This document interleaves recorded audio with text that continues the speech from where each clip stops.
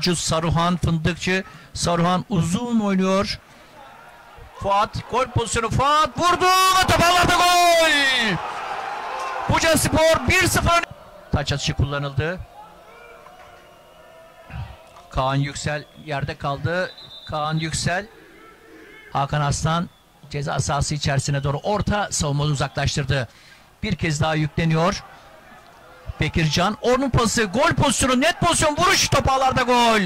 İlk yarının son anlarında Bekircan ortaladı. Bekircan ortaladı ve Karacabey tak Karacabey takımı ceza sahası içerisine bir ortada kafayla açılan şut pozisyonu vuruş top ağlarda gol. Ahmet Eren attı.